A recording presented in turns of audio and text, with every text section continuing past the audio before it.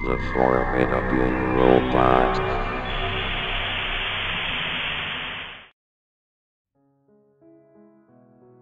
You may not know it, but I have quite a presence on the internet. Well, I had one, to be exact. I had an entire band of followers, probably somewhere in the hundreds. That may sound impressive and all, but that number pales in comparison to some big names on the web. What was it that drew others towards me, you ask? Well, I used to run this blog that I updated whenever I had the time, but it wasn't just any ordinary blog. No, no. I ran a horror blog, yes, you heard me right, a horror blog. Basically, I uploaded spooky photos that I took in the wild to this website. The photos weren't actually real, but boy, you'd be surprised by how many people fell for this crap. The idea first came to me after I went for an evening walk in the woods. When you live in a rural area with more trees than houses, that's something you do often. It was a really beautiful forest I lived near, and it was perfect for photos. A couple months ago, when Halloween was right around the corner, I came home with some exceptionally pretty pictures from my hike. In the spirit of the holiday, I thought that it would be fun to edit some of the photos I had taken to make it seem as if the forest was haunted. Using the most intricate Photoshop software I could find, I grayscaled the photos and edited pictures of myself into them. I then used blurring and lighting effects to make me look extra ghostly. I'm not exactly a professional grade photographer, but my pictures looked convincing enough. I obviously had to do something with my work, but what? That's when it hit me. I could get internet famous with these photos. Just imagine how many people would fall for my shifty editing skills, I thought to myself. I used one of those free website making apps to create my own blog, where I would upload the haunted photos I took whenever I had the time. My first few uploads didn't garner that much attention, much to my disappointment. I got only 4 or 5 comments in total, and my website's view count was laughably small. I figured that I'd have to up my game if I wanted my blog to gain more traction. I returned to the forest the next day, this time collecting sticks and rocks throughout my trek. I made my way to a rather spacey clearing, thinking it would be perfect for my plan. I laid down all of the sticks and rocks I had collected and proceeded too arrange them in a cult like symbol. It was in the shape of a Leviathan cross, to be exact, a simple pentagram would have been to by the numbers. I recorded myself walking into the scene with my phone as if it was found footage, like I had happened to stumble upon it during my hike. I knew I couldn't stop there. I needed even more footage to really convince the public. I found a short tree and placed my phone in the middle of it, propping it up so that it could record something from a distance. I used my phone's self timing feature to record myself retreating into the bushes from afar. When I came home, I spliced the videos together and added in some creepy lighting effects, and just like that, it looked like I had captured something paranormal on tape.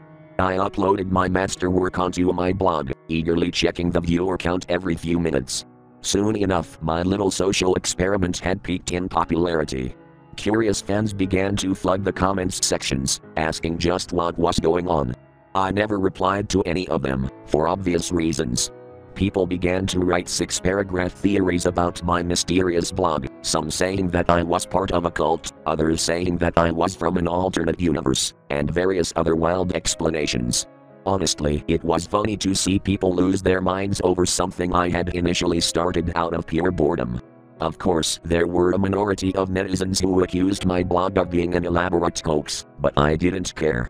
What mattered most was that I was having fun. On a bi-weekly basis, I continued to upload more photos and videos to my blog, gaining more and more reputation with each post. I guess the attention was validating to me while it lasted. I've always been enthralled with online horror ever since my childhood. It felt good to be a part of it, you know? Anyway, after my blog's spike in popularity, I got tons of comments per week, and it's not like I bothered to read every single one of them. The majority of them were either extensively long fan theories that no sane person would read, or just random people spamming the shocked emoji face. One day in January, I came home with a couple of photos that I was particularly proud of. It had snowed earlier, and I decided to take full advantage of that by shooting some creepy wintry photos for my blog. Out of all of them, my favorite was the last photo I had taken. It depicted a snowy clearing that I had found in the deep, deep woods. In the middle of the clearing, surrounded by all of the frost covered trees, I edited in a stock photo of a hunchbacked woman, then photoshopped the image to really sell the supernatural vibe of the scene. It took only a few hours for most of the comments to start appearing after uploading the photos. I skimmed through the comments sections as per usual, but this time, there was one comment that made me stop scrolling. It contained a picture, but it wasn't just any picture.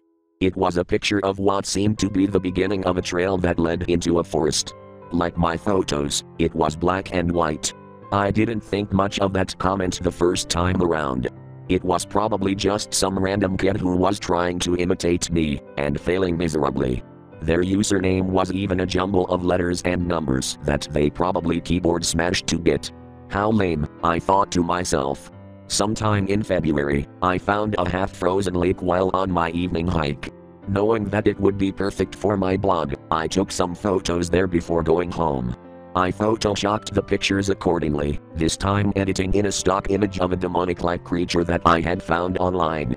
I then uploaded all of the photos onto my blog, hoping that they would look more impressive than ever. A couple of minutes passed, and I reloaded the page to see if the comments on my newest post had started rolling. What I saw made my skin go cold. The first comment on the page was another black and white photo, but this time, it was a photo of the back of my house. My movement stopped momentarily after seeing that image. My blood turned to ice, my jaw clenched, my hands froze in place. That picture unmistakably depicted my house, judging by the angle, whoever had taken it wasn't very far away. I didn't want to stick around to see if my stalker was anywhere nearby. I shut my computer and ran down the stairs, out of the house, and onto the pavement, where I continued to run as fast as I humanly could. I ran past every home, every street, every shop, not even bothering to stop for air. I continued to run, even as my muscles shrank, I continued to run, even after my body was overheating with sweat. I continued to run, until finally, I couldn't take it anymore. By the time I had stopped running, I found myself in front of the forest. It was already starting to get too dark to see anything. I reached for my pocket to retrieve my phone, only to feel nothing there.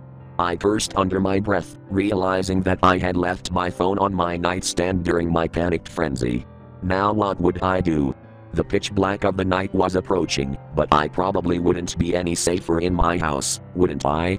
An unbearable feeling of terror began to wash over me.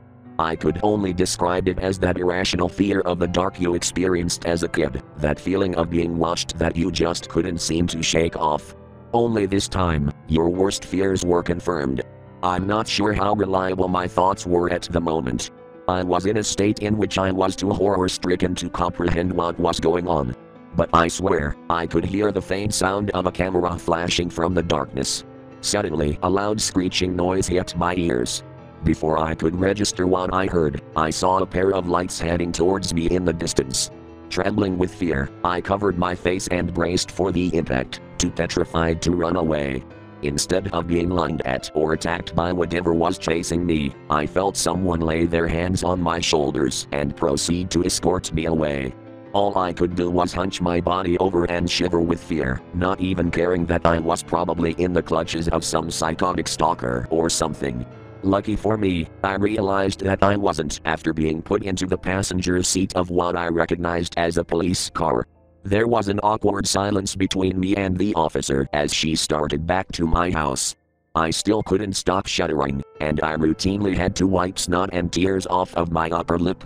She could tell how terrified I was, after several minutes, the officer began to speak.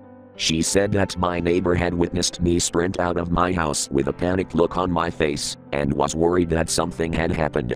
According to her, they had searched my entire house and the space around it, but had found nothing out of the ordinary. I frantically told her about my blog, about the picture of my house, and that I was scared for my life before forwarding her my website. She said they would track down whoever was messing with me as soon as possible, and advised me to take extra safety precautions before dropping me off back home. Seeing just how frightened I was, my neighbor was kind enough to let me sleep in his house. Even after he barricaded the doors and locked the windows, I don't remember getting a second of sleep that night. The first thing I did in the morning was delete my blog entirely. I then packed up all of my things and left to live with my mother later that day. Ever since then, I've been wary of using technological devices. I ignored phone calls from former neighbors of mine, who are still probably wondering where I disappeared to. I didn't bother to log into my laptop to read the news, or even check my email to see if the authorities had gotten back to me. It wasn't until earlier today that I felt comfortable using my computer again, after my one suggested that I type up all of my thoughts in a document. I've been compiling everything that's been on my mind for almost an hour now, and it's helped me relieve a lot of stress, thankfully. Well, for a little while it helped. Because just a moment ago, I received a text. A text from a number I did not recognize. All that the text contained was a photo, saturated with a dreadful black and white hue that was oh so familiar to me. This time, the photo depicted what I quickly recognized as my house's front door.